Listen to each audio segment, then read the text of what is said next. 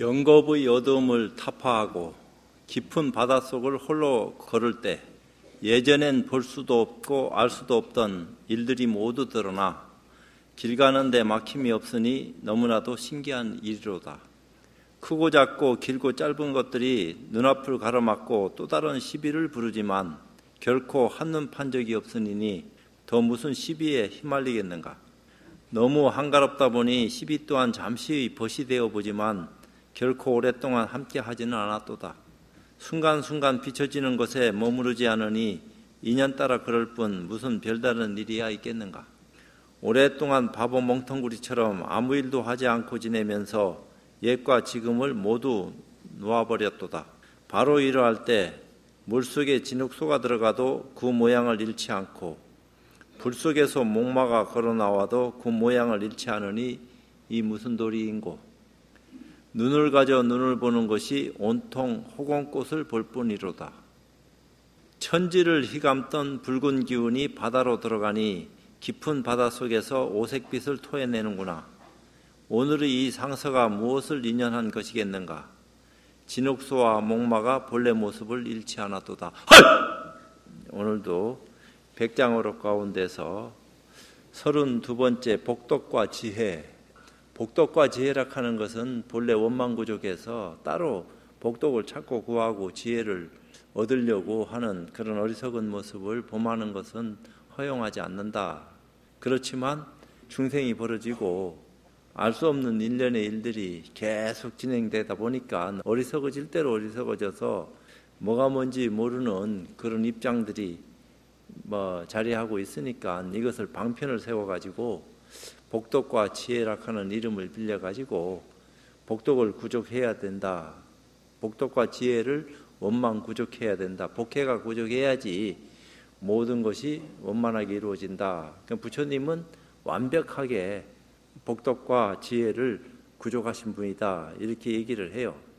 근데 이제 복덕과 지혜를 구족하신 분이다 하니까 사람한테 연관 지어진 복덕과 지혜도 있고 인비인이라 해서 사람이면서 사람 아닌 도리를 알고 있는 어떤 입장일 것 같으면은 복덕과 지혜에 대해서 좀 더 멀리 내다보는 폭넓은 지혜를 가질 건데 안 그러면은 자기 눈높이에서 한계 그어진 그런 입장에서 뻐적대는 그런 복덕과 지혜를 말하는 어리석음을 범하기 때문에 이것은 한계가 있을 수밖에 없다. 이렇게 이제 말부터 먼저 하고 이 까닭에 도리가 아직 성립하기 이전에 먼저 복덕과 지혜가 있다면 뭔가 깨달음을 성취하기 이전에 복덕과 지혜가 있다면 그 복덕과 지혜를 올라타고서 비천한 것 같기도 하고 고귀한 것 같기도 하겠지만 먼저 도리를 세우고 뒤에 복덕과 지혜가 있는 것만 못하다.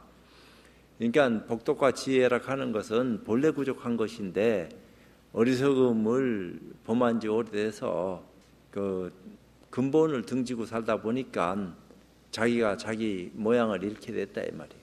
근데 그것을 한 생각 돌이켜서 깨달음의 눈으로 복덕과 지혜를 세우고 또 다른 차원에서 방편으로 시설되어질 수밖에 없는 그런 입장은 차제로 아 참 이러니까 이런 입장을 취하라고 이렇게 말씀하시는구나 하는 까닭을 알고 진행을 시키면은 훨씬 수월하겠지만 모르면은 점점 멀어질 수밖에 없다 이 얘기요. 만약 복덕과 지혜를 바란다면 때가 되면 얻을 수 있으니 그 때락하는 게 참 쉽지 않은 거요. 그때에는 황금을 집어 흙으로 만들고 흙을 집어 황금으로 만들며 바닷물을 바꾸어 치즈로 만들고 수미산을 부수어 먼지로 만들며 동서남북 바닷물을 끌어모아 한 개 털구멍 속에 집어넣고 하나의 뜻에서 헤아릴 수 없이 많은 뜻을 이루고 헤아릴 수 없이 많은 뜻에서 하나의 뜻을 이루며 또한 발을 헛디뎌 전류왕이 되어 사천하의 사람들로 하여금 매일 십선을 행하도록 한다고 도 하는데 이러한 복덕과 지혜는 헤아릴 수조차 없다. 이런 얘기를 했어요. 그러니까 이미 원망구족한 복덕구족에 대한 올바른 가치관을 눈을 뜨면은 시비가 끊어져 가지고 아 그런 거구나 하고 다 받아들일 수 있는 눈과 귀가 열려서 거기서 비롯된 어떤 힘을 갖게 되는데 그렇지 않을 것 같으면 한계 그어질 수밖에 없는 입장에서 자기 식으로 소화하고 자기 식으로 해석하고 그런 입장에서 얘기되어지는 그런 눈높이에서 착각하고 살 수밖에 없다 이 말이에요. 그러니까 아주 1, 2, 3, 4, 5, 6, 7이라 한 것을 다 살펴가지고 내 근기가 지금 어디에 해당하고 있는지 어느 방향으로 나를 움직여야지 더 큰 눈을 가지고 더 많은 사람들한테 이익을 나눠줄 수 있는지 이런 것을 생각하지 않으면 안 된다. 이제 우리가 인식하고 있는 복덕이라 하는 것은 부귀영화 그런 어떤 잘 살고 못 살고 남보다 똑똑하고 잘나고 그렇게 하고 뭐 어려운 일이 안 생기고 생겼다 하더라도 빨리 해결되고 그런 어떤 입장에서 비롯되어지는 기복적인 거, 뭐 복을 빌어서 점점 잘 살게 만들어지는 그런 입장을 취해서 복덕이다 이렇게 얘기하는데 그것은 깨달음이 눈에서 얘기되어지는 복덕에 비할 것 같으면 하잘 것 없는 거다. 변변치 않은 그런 것을 가지고 아이고 그거라도 우리는 어딥니까? 그 입장이 안 돼서 지금 죽을 지경인데 지금 힘들고 어려워서 곤란 지경인데 불교 안 믿더라도 잘 살기만 해준다면은 까짓는 거 얼마든지 어떤 변화라도 나는 막 받아들일 수 있습니다. 이렇게 할런지는 모르지만 진리 어떤 입장에서 딱 살펴봤을 적에는 허망한 소리 하지 말아라. 정신없는 소리를 할 수밖에 없는 처지에 놓여 있다 하는 것은 잘 알겠지만 허망한 소리도 한 번, 두 번으로 그쳐야지 계속 진행시키면은 점점 더 나락으로 떨어지는 것을 왜 모르느냐. 그래서 올바른 가치관을 눈뜨려고 하는데 뜻을 두고 왜 지금 처지는 어쩔 수 없으니까 내가 뭐 지금 뭐 바꾸려고 한다고 내일이 쉽게 오늘 내일이 막 이렇게 확 바뀌어질 수 있는 그런 입장은 아니잖아요. 노력을 해서 서서히 인연 따라서 변하고 바뀌어지는 건데 이제 그런 것은 알지만 진리락 하는 것은 언제 뭐 나타난 적이 있나 변한 적이 있나 없어진 적이 있나 늘 그런 건데 그런 데 대한 올바른 가치관을 눈뜬다 하면은 어떤 변화가 눈앞에서 벌어진다 하더라도 소화 못할 것이 없다. 그런 입장에서 복덕을 얘기하고 지혜에 대한 올바른 가치관을 눈뜨야지 타심통하듯이 난 저 사람이 무슨 생각하고 있는지 다 알아. 또 세상 돌아가는 입장을 난 예지력을 지녔기 때문에 내일이니 1년 뒤니 10년 뒤에 일까지도 훤히 다 알고 있다. 그런 것을 지혜라고 착각하면 안 된다.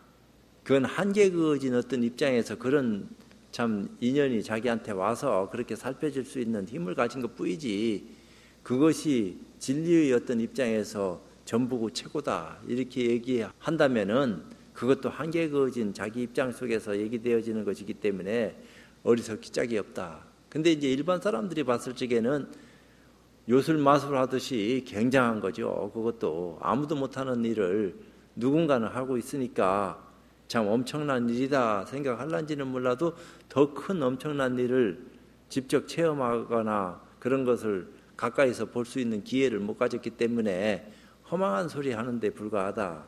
내가 허풍 떠는 소리를 하는 것 같지만 실제 그렇다 하는 사실을 직접 깨달음을 통해서 체험을 해야지 이것이 증명이 되지 그렇지 않으면은 이해 속에서 그걸 헤아리다가 끝나는 것이기 때문에 쉽지 않다 이 말이에요. 그 자꾸 주입식으로 얘기해봐야 한계가 있는 거고. 에, 그래서 그런 어떤 십선 시박을 십선을 행하고 시박을 멀리한다. 인과니까 좋은 어떤 과보를 받을 수 있는 그런 일련의 일들을 행하면서 나쁜 업은 멀리한다. 이제 그것은 이제 이 형상을 가지고 있으니까 형단에 의지해서 살다 보니까 어쩔 수 없이 더 좋은 몸을 받기 위해서는 그런 인과에 의해서 변화할 수밖에 없는 입장이니까 자꾸 그걸 본선한다 이 말이에요. 착한 일을 해라. 왜그 그 착한 일이라 하는 게 중생들이 착한 일은 그저 십선을 가까이 하고 시박을 멀리 하는 거겠지만 부처님의 어떤 그 선한 행동이라 하는 것은 십선시박으로 얘기되어지는 그런 차원이 아니다 이 말이에요. 거기는 착하고 악하고의 차원이 다 벗겨져 가지고 착함도 있을 수 없고 악한 것도 있을 수 없다. 말은 그렇게 얘기해요. 그래서 그렇다고 무냐 없는 거냐 그런 것도 아니다. 모든 것을 구족해서 다 갖췄지만 그것을 알 수 있는 눈을 못 갖췄기 때문에 한계 그어진 어떤 입장에서 살피고 이해하는 것은 그쪽 사정이고 실질적으로 그런 어떤 입장들을 다 소화해서 입장 정리를 끝낸 부처님의 가르침이 어떤 것인지에 대해서 우리는 인식을 제대로 하지 않으면 안 된다. 그래서 그런 올바른 가치관을 눈뜨고 받아들여서 왜 방편을 열어서 차제로 중생 세계의 그 안타까움을 자꾸 이제 벗어나게끔 하기 위한 노력을 하셨는지 그 까닭을 우리가 알지 않으면 안 된다. 이렇게 자꾸 얘기하는 거죠.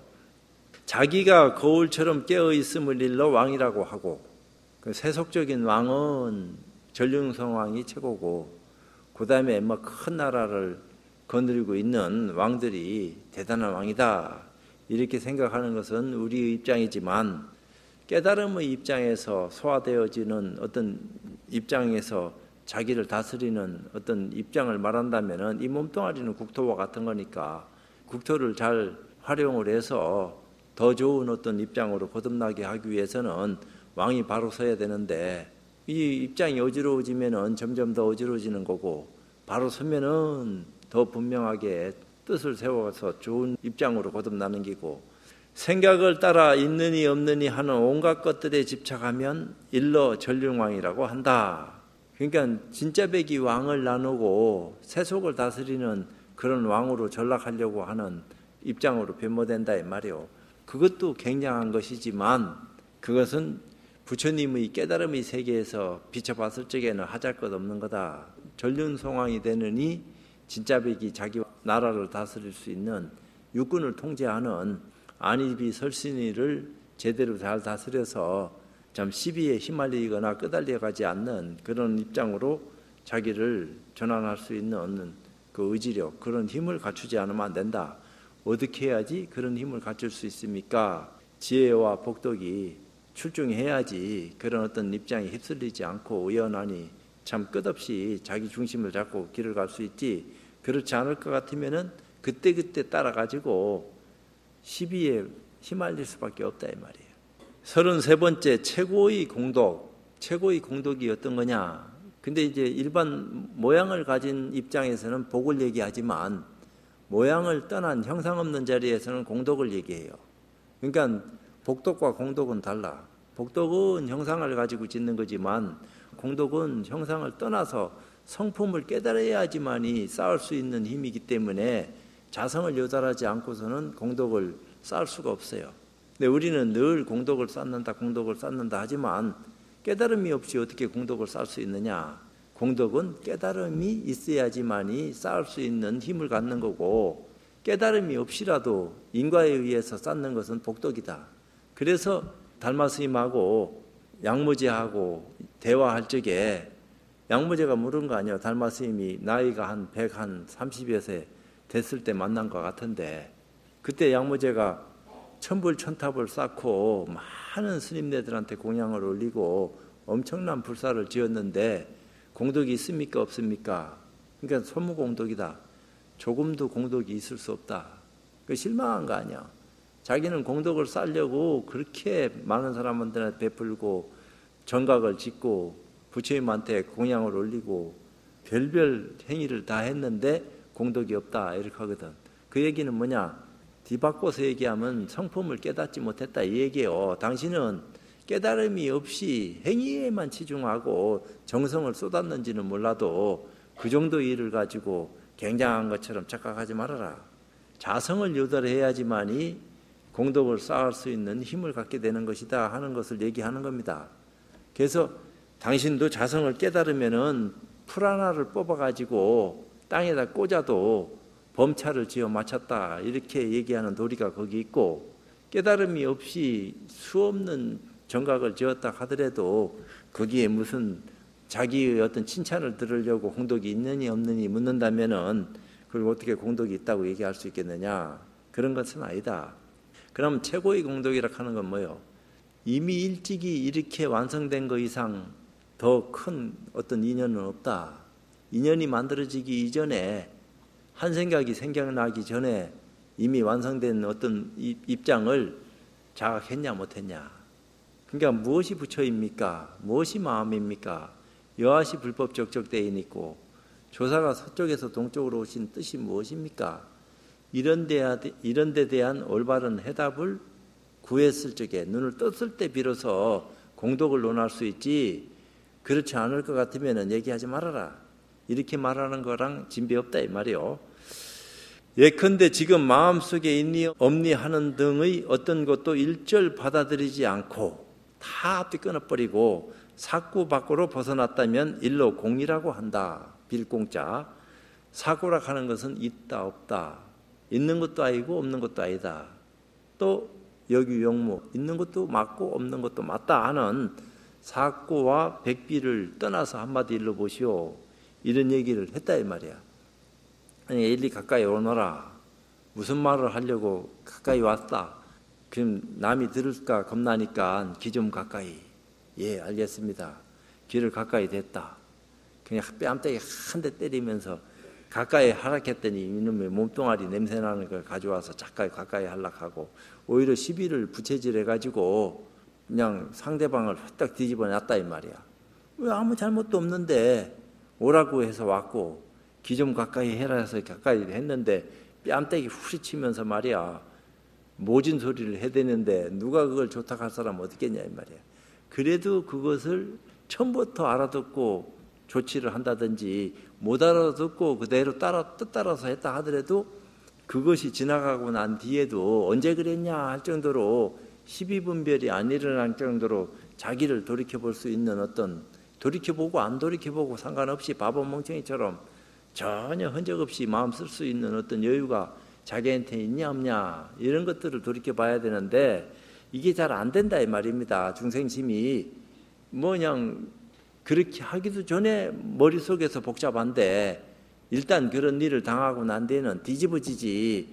그것이 좋은 모습이면 몰라도 저렇게 점잖고 내가 그렇게 믿고 의지하고 신했던 스님이 나를 상대로 시험하는 것까지는 좋은데 나는 그래도 어떤 어려움이 있어도 모진 참 소리를 들어도 참고 견뎠는데 아이 가까이 오라고 하더만 난 잘못이 있는지 없는지 그것도 모르겠는데 다짜고짜 그냥 뺨때기 올려 붙이면서 정신없는 소리를 해대는데 그러면 그건 바깥 경계고 자기 안에서 내면에서 일어나는 허물이 있는지 없는지를 빨리 돌이킬 수 있는 위치가 탁 준비되어 있다 하면은 정신 바짝 차리고 왜 그런 어떤 입장을 취하는지 까닭을 알면은 앞뒤가 다 끊어질 낀데 그런 것들이 준비가 안 돼가 있으니까 1년 지나고 2년 지나고 10년 지나도 계속 어리가 남아가지고 점점 더 그게 상처가 아물지도 않고 옛날에 나한테 한 짓을 난 기억하고 있다. 못 잊어버린다. 독한 마음을 딱 가지고 품어가지고 풀려고를 안 해. 또 누가 중재를 서도 나는 한번 꽉 맺힌 게 있어가지고 어떤 일이 있어도 쉽게 안 풀려. 지가 뭐 나한테 뭐빚 갚을 일이 있는지 없는지 몰라도 나는 다시는 돌이킬 수 없는 그런 어떤 상처를 입었기 때문에 지한테 내가 뭐 베풀 것도 없어. 지는 지고 나는 나니까. 이런 식으로 상대 안 해주고 늘 자기 갈 길로 간다고 생각해봐요. 그게 어떻게 불편한가? 그런 것들이 안 일어나야 되고 그런 일이 일어났다 하더라도 빨리 풀어서 전혀 유연한 어떤 모습을 지니고 겸허하게 마음 쓸 줄 알아야 되는데 이런 것들이 잘 안 된다 이 말이요. 알면서도 안 돼. 몰라서도 모르는 경우도 있지만 알면서도 안 되는 경우가 허다해. 그것을 빨리 공부의 힘으로 돌이켜 가지고 멍청이처럼 아 뭐가 그 뭐지요? 이 정도로 살 정도로 되면은 시비도 없는데 똑똑하니까 저놈 나보다 부족한 놈이 말이야. 옛날에는 괜찮았는데 요새 조금 뭔가 잘난 척할 수 있는 어떤 힘을 가졌는가 나를 경멸하고 무서운 생각을 가지고 있는데 내가 한번 뻔때를 보여줘야 되겠다. 아, 이런 생각을 하면은 바보지. 뭐하러 그런 생각을 하노? 하는 것은 우리 입장이지만 마을에 살면서 그런 일을 허다하게 겪는 건데 스님 그거 모릅니까? 알지만 나는 멍청이 같아서 그런 거 잊어버린 지 오래됐습니다. 뭐 때문에 그런데 연연합니까? 받아들일 때부터 탁 놔버리면은 내일도 모레도 늘 그런 건데 근데 받아들이는 순간에 변화가 일어나면서 감정이 일어나게 되니까 좋은 감정이든 나쁜 감정이든 감정은 감정이다 말이에요. 이걸 사귀어야 되는데 못 사게 먹으니까 좋으면은 둘러 빠져서 늘 좋다 좋다 하다가 갑자기 안 좋은 일 하나 탁 저지르면은 저게 날 좋아하는 줄 알았더만 속은 딴 데 있었구나. 이래갖고 오해를 해가지고 둘러 자빠지고 좋은 사이 좋은 사, 사인 줄 알았는데 안 좋은 사이구나 이래 되고 또 좋은 사이 사인 줄 아니까 중간에 또 들어서 이간질을 해가지고 사이를 벌려놓고 그렇다고 뭐 지가 무슨 뭐 어떤 입장을 취하는 것도 아닌데 아무것도 아닌데도 갖다 이리 말하고 저리 말해가지고 사람 사이를 갈라놔가지고 시비해서는 안 될 사람들을 시비하게 만들고 그런 악취미를 가진 사람들도 세상에 있다 이 말이야. 그렇게 하지 말고 살아야 되는데 왜 그러냐? 그러니까 아 업이 많아서 또 그렇게 해야지 또 사는 재미라도 안 납니까? 이런 생각하는 사람들도 들어 있는 것 같은데 종교의 어떤 입장에서 봤을 적에는 그런 것은 금물이다. 그런 거 하지 말고 가능하면 화합을 시켜 가지고 좋은 게 좋다 하는 식으로 참 결합을 시켜서 있는 것도 없는 것도 다 눈노뚝이 사라지게 해줘야 될 바인데 없는 걸 새로 만들어 가지고 막 그냥 부추기고 해가지고 끝없는 시비를 불러일으키게 만드는 것은 그건 잘하는 것이 아니다 이런 얘기죠. 지금 불사약이라고 일컫는 것은 먹어도 죽지 않는 약을 가지고 있는 어떤 입장이 있는 것 같은데 일컫는 것은 앞의 왕을 일러 불사약이라고 한다. 이제 앞에 그 왕이라 하는 것은 마음을 얘기한다 이 말이야. 마음이라 하는 것은 죽어도 죽는 게 아니야. 내 몸뚱아리가 죽는다고 해서 마음이 사라지고 없어진다. 이건 아니다 이 말이야. 또 다른 인연으로 거듭나는 거지. 그러니까 모양을 바꾸는 거지. 왜 업을 뒤집어 쓰고 있으니까 그 업에 따라서 잠시 이렇게 업을 가지고 이 모양을 쓰고 있지만 죽어서 죽는 게 아니다 이 말이야. 또 다른 모습으로 변해가는 거지. 근데 그 변해가든 변해가지 않든 깨달았든 못 깨달았든 마음은 누구든지 다 가지고 있으니까 그것을 일러서 왕이다 간다. 그거는 죽지 않는 거다 이 말이에요. 영원 영생 불멸한 모습을 지니고 있다. 범부라고 그 왕을 떠나서 있는 것은 아니다 이 말이야. 다 마음 가지고 있어. 꿈틀거리는 생명체를 지니고 있는 모든 것들은 마음이라 하는 것이 있다 이 말이에요. 업이 달라서 사람도 되고 짐승도 되고 또 다른 우주 법계의 모양을 쓰고 살고 있는 것 뿐이지 이게 무한하다 이 말이죠. 비록 불사약이라고 하지만 왕과 함께 마시니 둘도 아니고 하나도 아니다. 그건 모양이 없어서 모양이 있다, 모양이 없다 이렇게 얘기할 수 있는 근거도 쉽지 않다 이 말이야. 있다고 하면은 아무리 찾아도 없고 없다고 하려하니까 지금 있는 것은 뭐냐 이렇게 얘기되어지는 어떤 입장들이 드러나는 것이기 때문에 하나다 하는 것은 늘 얘기하지만 만들어진 것이기 때문에 만들어진 것은 변하고 없어진다. 이렇게 얘기해요. 그러면 만들어지기 이전 만들어질 수 없는 근본 어떤 실상의 어떤 참다운 모습은 변하는 것이 아니다. 이것도 아니고 저것도 아니다. 그래서 둘이 아니다. 이런 얘기를 한다 이 말이요. 하나락 하는 것은 변할 수밖에 없는 것이니까 원래는 하나락 하는 모습도 없어야 되는 건데 그 공이락 했는데 공에서 하나가 나오고 열백이 티 나오지만 그것은 다 환이다, 그림자다. 이렇게 얘기한 거고, 본래 그림자 없는 실상이라 하는 것은 깨달음을 통해서 안목이 열렸을 적에 비로소, 아, 이걸 마음이라 했구나 하는 자각이 있어야 된다. 이런 얘기를 자꾸 하는 거요. 만약 하나라거나 둘이라고 이해한다면 또한 일로 전룡왕이라고 한다. 그런 것들이 구르고 굴러서 변화를 일으키니까 국토를 다스리는 왕은 될지언정 최고의 왕이라고 얘기되어질 수 있는 근거는 없다 이 말이요. 예컨대 지금 어떤 사람이 복덕과 지혜와 네 가지 생필품을 400만억의 헤아릴 수 없는 세계의 육도에 윤회하는 중생들에게 공양하여 베풀어 가지고 그들의 욕망을 따라 80년이 지나도록 한 뒤에 이렇게 생각한다고 하자. 그러니까 끝없는 보시를 베풀어 가지고 공양을 올렸다 이 말이야. 그런데 이 중생들은 이미 나이가 많고 쇠약해졌으니 만하는 마땅히 불법을 가지고 그들을 가르치고 이끌어 사과를 얻도록 해주어야 하겠다. 사과락 하는 것은 수다원과 사다함과 아나함과 아라함과 그런 성인의 태에 들어갈 수 있는 과일을 얻도록 해주어야 하겠다. 그러니까 뭐 음식을 준다든지 의복을 베푼다든지 집을 나눠준다든지 하는 좋은 일도 또 좋은 일이지만 풍족하게 마음을 살펴줄 수 있는 인연을 베푸는 것도 나쁜 것은 아니지만 그 사람들이 그렇게만 살면 무지렁이 되니까 뭔가 그래도 눈을 뜨도록 해줘야 될 거 아니냐.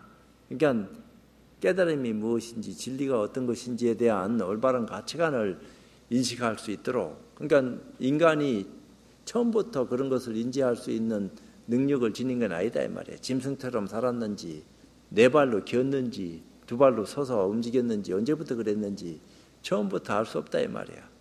이것들이 이제 오랜 세월을 흘러다 보니까 의복도 있고 또 언어도 사용하고 문자도 쓰고 그렇게 하면서 문화생활을 행위하다 보니까 인간이 지구촌을 지배하게 됐고 인간보다 더 똑똑한 짐승들은 이 지구촌에는 더 이상 없다 할 정도로 굉장한 모습을 지니고 쓰게 됐는데 처음부터 그랬냐 이 말이야. 진화해 오는 과정 속에서 그렇게 능력을 발휘할 수 있는 힘이 우리한테 주어졌기 때문에 기회가 온 거지. 근데 이런 기회를 잘 활용해서 우리가 행복하게 오랫동안 참 진리에 대한 올바른 가치관을 알면서 살아갈 수 있는 힘을 얻었으면 좋겠다. 행복이 무엇인지에 대한 참다운 가치관을 눈뜨고 살아갔으면 좋겠다. 도대체 말은 행복, 평화, 자유 뭐 이런 소리 자꾸 하는데 뭐가 진정한 평화며 자유냐? 나는 그런 것을 향유하고 있느냐?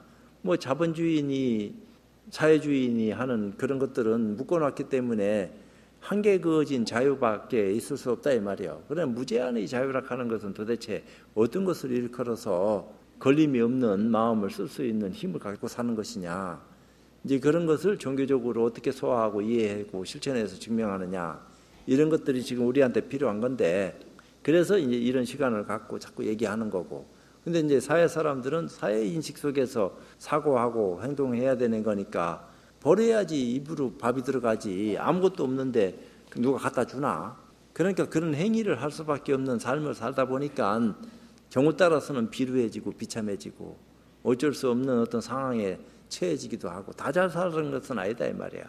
골고루 잘 살아야 된다 하는 어떤 이념은 가지고 있지만 그것은 경우 따라 그렇게 되는 거지 누구나 다 그렇게 되는 것은 아니다 이 말이야. 그러나 깨달음이 어떤 세계에서 비춰봤을 적에는 인과가 그러니까 어쩔 수 없다 이렇게 이제 쉽게 얘기할 수는 있지만 그래도 세상에 태어나서 사람으로 났는데 잘나고 못나고 관계없이 누구나 동등하게 마음을 가지고 쓰는 입장에서는 다 잘 살아야 될 어떤 의무가 있는 거 아니냐.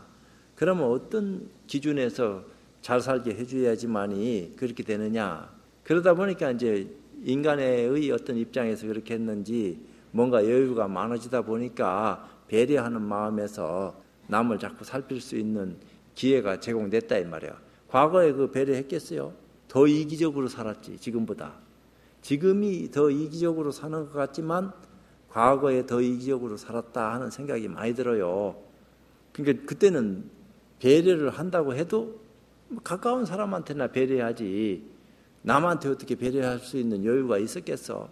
자기 살기도 바쁘 죽겠는데 지금도 마찬가지고. 그러니까 더 잘 살아갈 수 있는 어떤 입장이 우리한테 열리면은 배려해라 말아라 안 해도 저절로 다 입장이 그렇게 제도화돼서 움직여서 돌아가는 것이니까 일은 쉽겠지요. 이제 그런 사회를 만들려고 노력하는 것이 지금의 입장인데 과연 언제 그렇게 되겠느냐? 그래도 미래는 모르니까 지금 최선을 다해서 그렇게 만들어가게 하는 것이 우리가 사는 어떤 목적이 아니냐. 이제 그런 얘기도 하는 거죠. 이와 같은 시주는 그런 어떤 재물을 보시한다든지 정신적 깨달음을 눈뜨게 해준다든지 하는 시주는 중생들에게 온갖 즐거움을 베풀어 준 공동만 해도 헤아릴 수 없는데 더군다나 사과까지 얻도록 해주었으니 그렇게 남한테 베풀고 공양하기를 80년 동안 막 늙어 죽도록 뭐 생필품을 막 엄청나게 베풀어서 했고 이제 나이 들었으니까 못하니까 이제 정신적인 가치관까지 나눠준다. 그랬는데 사과까지 얻도록 해주었으니 그 공덕은 헤아릴 수 없고 끝도 없지만 오히려 50번째 사람이 경전의 말씀을 듣고서 기쁨을 함께하는 공덕에는 미치지 못한다. 이 50번째 사람이라 하는 것이 도대체 뭘 얘기하냐? 이게 이제 법화경이 나오는 소리랍니다. 그게 법화경 제6권 수의 공덕품 제18에 나오는 다음 이야기를 요약하여 소개한 것이다. 그때 미륵보살이 부처님께 아뢰었다. 세존이시여 만약 착한 남자와 착한 여인이 이 법화경을 듣고서 더불어 기뻐한다면 얼마만 복을 얻을까요? 그리고서 다시 개성으로 말했다. 세존께서 멸도하신 뒤에 이 경전을 듣는 자가 만약 기뻐할 수 있다면 얼마만한 복을 얻을까요? 그때 부처님께서 미륵보살 마하살에게 말씀하셨다. 미륵이요 열애의 멸도 뒤에 만약 비구 비구니 우바이 우바세 및 여타 지혜로운 자가 늙었든 젊었든 이 경전을 듣고 기뻐하고서 법회에서 나와 다른 곳 절이나 공터나 성읍이나 길거리나 마을이나 밭이나에 가서 들었던 대로 부처님 부모나 친척이나 친구나 친지에게 힘껏 설명하여 이 모든 사람들이 듣고서 기뻐하면서 다시 말해주고 다른 사람이 듣고서 역시 기뻐하며 다시 말해주고 이렇게 거듭하여 50번째 사람에 이른다고 하자. 좋은 일을 계속 좋게 좋게 좋게 해서 50번에 이르렀다고 하자. 미르기어 그 50번째 착한 남자나 착한 여인이 기뻐하는 공덕을 내가 이제 말할 테니 그대는 잘 들어라.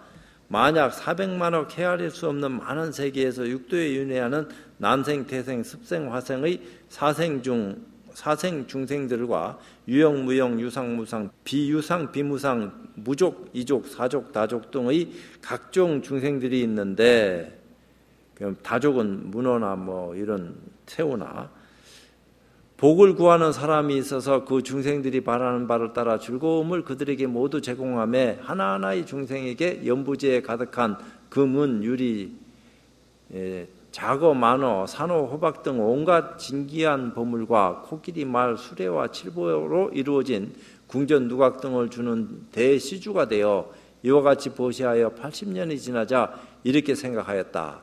나는 이미 중생들에게 즐거움을 베풀어서 원하는 일을 하였다. 그런데 이 중생들은 모두 이미 나이 80이 넘어 노쇠하여 머리털은 백발이 되고 얼굴은 주름이 져서 오래지 않아 죽을 것이다. 나는 마땅히 불법을 가지고 그들을 훈도해야 하겠다. 그리고는 곧 이 중생들을 모아 불법으로 교화한다고 선포하고 가르침을 하여 이익과 기쁨이 있게 하니 그 중생들은 일시에 모두 수다원 사담 아난 아란의 도를 얻었고 온갖 번뇌를 벗어나 깊은 선정 속에서 모두 자제함으로도 팔해탈을 갖추었다고 하자. 그대의 생각은 어떠냐? 이 대시주가 얻은 공덕이 어찌 많지 않겠느냐? 미르기 부처님께 아뢰었다. 세존이시오. 이 사람의 공덕은 헤아릴 수 없이 많습니다. 이러한 시주라면 중생들에게 온갖 즐거움을 준 공덕도 한량이 없는데 하물며 아라한가까지 얻도록 하지 않았습니까? 부처님께서 미르게 말씀하셨다. 나는 이제 분명히 그대에게 말한다. 이 사람이 400만억의 헤아릴 수 없이 많은 세계에서 육도에 윤회하는 중생들에게 온갖 즐거움을 베풀고 또 그들이 아라한가를 얻도록 하여 얻은 공덕은 50번째 사람이 법화경의 한 개성을 듣고서 즐거워하는 공덕에 비하면 백천만억 분이 이래도 미치지 못할 뿐만 아니라 애초에 비교조차 할 수 없다. 그러니까 법화경의 공덕이 무궁무진하다. 그 얘기를 했는데 법화경의 공덕을 이렇게 무궁무진하다 얘기하니까 법화경이 최고다 이렇게 얘기하지만 법화경이 최고하는 건 아니에요. 법화경을 들을 수 있는 눈각이 그런 인연이 형성됐을 적에 법화경의 어떤 입장이 스스로 우러나올 수 있도록 입장 정리가 돼야지 얘기가 되지 지가 그런 어떤 입장을 소화할 수도 없으면서 법화경이 앞에 있다고 해서 물론 법화경을 안 읽는 공덕보다는 법화경을 읽을 수 있는 기회가 왔고 그 읽은 공덕이 말할 수 없이 큰 것은 분명한 사실이지만 그 뜻을 소화할 수 있는 눈이 있냐 없냐 이것은 더 큰 일이다 이 말이요. 그래서 법화경을 소화하고 이해할 수 있는 큰 안목으로 이끌 수 있는 지도자, 스승이나 도반들이 있어서 참 내가 가르침을 청할 적에 얼마든지 그 가르침을 펴서 나한테 큰 눈을 뜰 수 있게끔 기회를 제공할 수 있다면은 그건 뭐참 좋지만 까막눈이 돼가지고 법화경만 가지고 있다고 해서 법화경만 계속 들춰본다고 해서 그 뜻이 자기 것으로 되냐 이 말이야. 오히려 그것이 소화 못하고 원칙에 만들어가지고 이상한 모양새를 만들어낸다 하면은 그래도 그것을 좋다고 얘기해야 되겠느냐. 그게 아니다 이 말이에요. 그러니까 차제로 법화경을 이해할 수 있도록 부처님이 에리트 교육을 시켰다 이렇게 얘기한 거 아니요. 부처님이 세상에 태어나서 참 깨달음에 들 때까지는 즐거움의 연속이요. 괴로움도 있지만 어머니를 먼저 여의고 좀 왕자로 태어났으니까 세상에 북이 영화락하는 게 뭔지 너무 잘 알고 또 아시타 선언이 선언하기를 세상에 살면서 왕이 되면은 전륜성왕이 될 거고 이 양반이 출가를 하면은 부처가 될 거다. 그러면서 눈물을 흘린 거 아니야. 부처 된다는 얘기지. 왜? 내가 살아 있을 때 부처가 돼서 부처 되는 모습을 보고 세상을 떠났으면 좋겠는데 이분이 성도하시기 전에 내 몸은 이미 수명을 다해서 또 다른 세상으로 갈 어떤 입장이기 때문에 그것이 아쉽다 할 정도로 어떤 입장 정리를 하는 어떤 모습이 경전 가운데 나타났다 이 말이야. 그러니까 화엄경을 부처님이 설했는데 깨닫고 난 뒤에 새벽의 별을 보고 6년 고행 끝에 부다가에서 성도하셨다 이 말이야. 그렇게 하고서 3, 7일 동안 화엄경을 설했는데 중생들 누구도 못 알아먹어. 그때는 오비구를 비롯한 제자들도 없을 때야. 바로 깨닫자마자 불교를 믿으라고 선포한 적도 없고 그런 어떤 눈을 떴을 적에 누가 알아먹나 아무도 못 알아먹으니까 부처님이 열반에 들려고 하신 거 아니야. 그때 범천이 나타나서 과거 전생에 부처님께서 저희들하고 약속한 적이 있지 않습니까 미래제가 다 하도록 중생계 중생들을 복되게끔 깨달음으로 이끌어 가지고 다 윤회에서 벗어날 수 있도록 그런 어떤 입장을 참 취해 주시기를 우리한테 다 약속을 하셨는데 지금 열반에 드신다 하는 말이 무슨 말씀입니까? 하니까 그 까닭을 아신 부처님이 간합을 하고 오비글을 제도하는 어떤 입장부터 비롯해서 야사 등 일가 60여 명을 차제로 제도한 거 아니야. 그러고 무소히 뿔처럼 흘러가라 하고 전법 선언도 하고 이런 어떤 입장에서 아함경을 설했다 이 말이야. 그게 이제 못 알아먹는 중생들을 알아먹게 하기 위해서 화엄경을 알아먹게 하기 위해서 이제 화엄경 도리를 알게 하기 위해서 에리트 교육을 시작한 겁니다. 저 밑바닥서부터 끝없는 중생들이 거기 모여 살고 있으니까 그러면서 방등을 설하고 반야를 설해서 급기야는 부처님 열반하시기 전에 법화경을 설해 가지고 부처님이 세상에 제세하실 적에 80 이상 30종호를 가진 부처님이 세상에 계실 적에 설해지는 경전이 법화경이다. 법화경은 아무 때나 설해지는 게 아니다. 세상에 부처님이 출연하셨을 적에 설해지는 경전이다. 이렇게 얘기한 거 아니야. 화엄경은 상주설법이라 없어진 적이 없어 늘 설해지고 있는 거지. 그 까닭을 중생들은 모르는데 부처님은 알고 계시고 그래서 부처님이 그 까닭을 중생들한테 들어보였는데 못 알아먹으니까 그것을 알게 하기 위해서 부처님이 법화경을 설할 때까지 계속 유상무상의 어떤 중생들을 제도하기 위한 작업을 한 거 아니야. 그렇게 해가지고 대소승을 다 얘기하면서 거기서 제도되어지는 수없는 사람들을 깨달음으로 이끌었고 급기야는 부처가 마지막으로 설하는 경전까지 소화할 수 있도록 길을 열어서 법화를 설했다 이 말이야. 그러니까 화엄하고 회통하는 인연들을 열어서 선보였다 이 말입니다. 그러니까 화엄이 법하고 법화가 화엄이다 이런 얘기를 하는 건데 그래서 거기서 완성을 하고 부처님이 열방경을 설하고 돌아가신 건데 돌아가셨다고 해서 80 이상 30종으로 가신 부처님이 돌아가신 거지 상주불멸하는 절대 불멸의 부처가 사라지고 없어진 건 아니다 이 말이야. 근데 그것을 중생들은 알지를 못해. 왜? 깨달음이 없으니까. 그래서 그 깨달음을 눈뜨게 하기 위한 작업의 일환으로서 기초서부터 저 위에 탑 쌓듯이 그 수없는 인연을 우리한테 베풀었는데 알면은 다행이지만 모르면은 안타깝지만 헤맨다 이 말이야. 길을 잃고 헤매는 중생의 어리석은 것 같다. 그래서 부처님은 그런 어리석은 사람을 눈뜨게 만들어주고 올바른 가치관을 알아서 길을 가도록 안내를 해주고 급기야는 너희들도 다 부처닥하는 어떤 위대한 선언을 할 수 있는 길을 열어 보여주셨고 그런 어떤 입장에서 법화경이 설해졌기 때문에 법화경이 공덕이라 하는 것은 말도 못하게 무궁무진한 거다. 그거는 수없는 인행을 통해서 깨달음을 눈 열었기 때문에 그런 것들이 설해지는 것이기 때문에 백년, 천년, 만년을 그냥 엄청난 보시를 하고 굉장한 일을 행했다 하더라도 법화경 개성 한 구절을 말하는 것만 하겠느냐. 그것은 아무렇게나 얘기하는 것 같지만 그런 위치에서 그렇게 얘기할 수 있는 까닭을 지닌 분이 그때 당에서 그런 말씀 하신 것을 중생들이 이해 못한다 이 말이야. 그런 어떤 것을 이해하고 소화했을 적에 아 참 이래서 이런 말씀을 이렇게 하셨구나 하는 것을 알 적에 굉장한 즐거움이 있다. 그런 기쁨은 말로도 다 설명할 수도 없다. 돈으로 환산할 수도 없고 세월로도 다 갚을 수도 없다. 엄청난 어떤 입장들을 받아들일 수 있는 준비가 안 된 사람은 이게 무슨 말인지 못 알아먹는다. 그러니까 그런 사람들한테 까닭은 얘기해 주지만 말한다고 알아먹나. 무시해서 그런 게 아니다 이 말이야.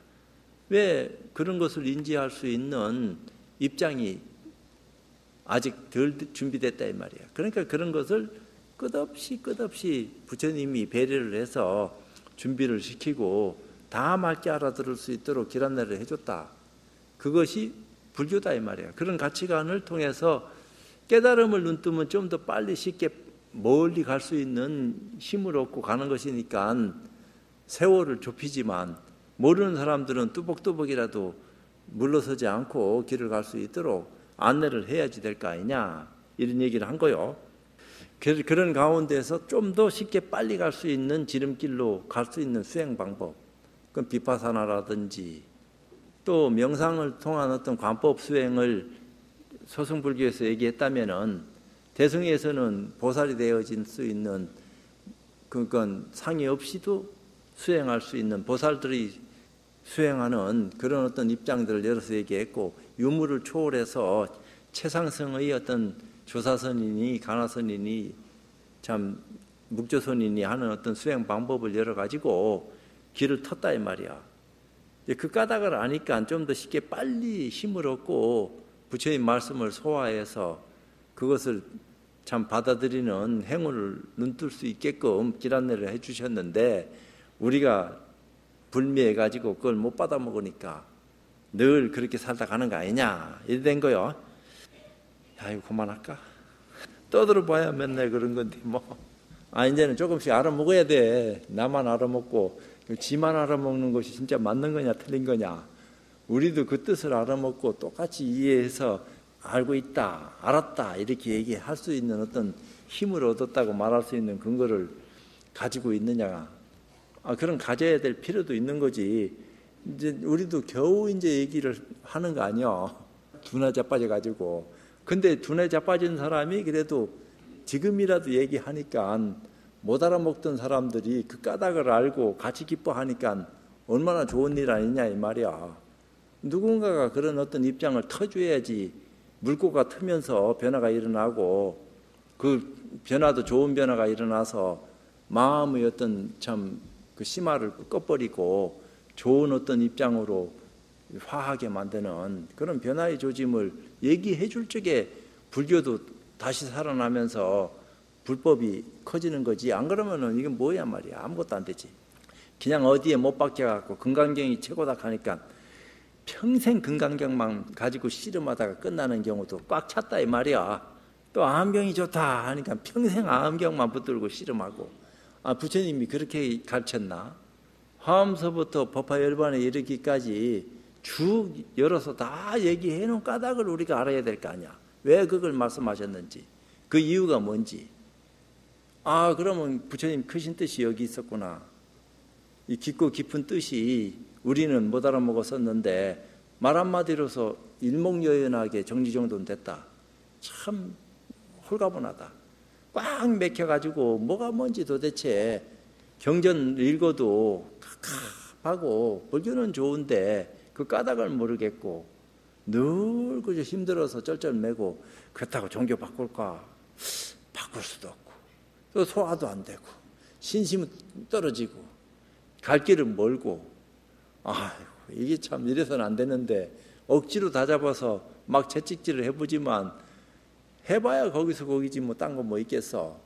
근데 누군가가 어떤 지름길을 일러주고 올바른 가치관을 눈뜨게 만들어줄 수 있는 기회를 제공했을 적에 변화는 있다 이 말이야. 아, 내가 여태까지 어리석어가지고 이것만 고집하고 이것만 붙들고 여기에서 시간 뺏기고 변화를 모르고 늘 그저 구태의연한 그런 모습을 지니고 있다 보니까 물이 고이면 썩어서 냄새나는 것처럼 나도 모르게 정신 못 차리고 살고 있었구나. 오늘 내가 비로소 한눈 더 뜰 수 있는 길을 탁 알고 보니까 야, 내 시간과 공간을 이렇게 허비했구나. 그렇지만 다행이다. 이런 거라도 지금이라도 알았으니까 얼마나 감사하고 고맙나. 이제부터라도 다 잡아가지고 부처님 가르침이 어떤 데 뜻을 두고 얘기를 하고 있었는지를 까닭을 알고 조심조심 한 걸음 한 걸음 내가 살펴서 가야 되겠다. 그래야지 나한테 더 큰 눈을 뜨게끔 기회를 제공할 거 아니야. 그 안목이 때에 변화를 수용할 수 있는 근거를 가지게 되고 안목도 없는데 아무리 좋은 책을 옆에 갖다 준들 읽어봐야 그런 눈에 들어오지만 뜻을 모르는데 이 달달봉사가 보는 거랑 같은 거지 그게 뭐요 아무것도 아니지. 그래서 이제 법문을 듣고 이제 법회에 참석해야지 법문 듣는 거 아니요. 또 일대일로 그런 기회를 가질 수 있는 어떤 행운이 있으면 말할 수 없이 좋은 거고 그렇들게 아 부처님 가르침이 이런 거였구나. 정밀하게 하나하나 세밀한 부분은 모르지만 전체적인 틀에서 입장 정리는 대충이나마 내가 모르던 사실을 알았으니까 감사하다. 이제부터는 내가 더 조금 조금씩 살펴갈 수 있는 힘을 가질 수 있게끔 조심해서 부처님 경전을 대해야 되겠구나. 아, 이런 생각을 가지게 되면은 변화가 일어나지 정성이 들어가고 그러다 보니까 남들한테 이익을 나눠줄 수 있는 힘도 더 많이 가지게 되는 거고 그러면 얼마나 감사하고 고마운 거예요. 늘 참 알고 길을 가는 것처럼 좋은 게 없는데 그러니까 고마움이 연속이니까 그것이 즐겁고 그것이 행복하고 거기서 참 뭐라고 얘기할 수 없는 그 광신맹신하는 거하고 또 다른 차원이다 이 말이야. 그러니까 기쁨이 배가 되니까 즐거움도 말할 수 없이 커진다. 나만 좋아지나?